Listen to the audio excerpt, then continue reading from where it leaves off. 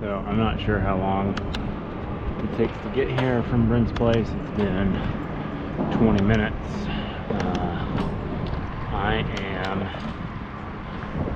gonna ride down here and then uh, I'm gonna take this first uh, uh, I'm gonna do this um, Fulton Sprint. I could probably do one on the other side too actually. Uh,